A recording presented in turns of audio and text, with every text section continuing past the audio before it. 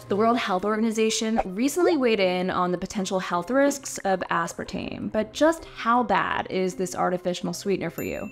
According to the recommendation, your Diet Coke is safe, Sort of. The World Health Organization concluded that aspartame may cause liver cancer or other health problems, but likely only when consumed in extremely high amounts. WHO recommends that people drink no more than 9 to 14 aspartame sweetened sodas a day, or about 74 packets of aspartame sweeteners like NutraSweet or Equal. However, surveys show that Americans drink no more than about two soda cans a day. Aspartame has been around since the 1980s, and you can find the chemical sweetener in diet drinks drinks, chewing gum, toothpaste, yogurt, ice cream, and even some medications. But keep this in mind, aspartame may still not be safe. Two independent WHO panels concluded that there was no scientific proof that aspartame caused disease when consumed at low or modest levels. However, they also found that conclusive evidence is lacking. The bottom line, doctors say don't panic, but don't ignore it.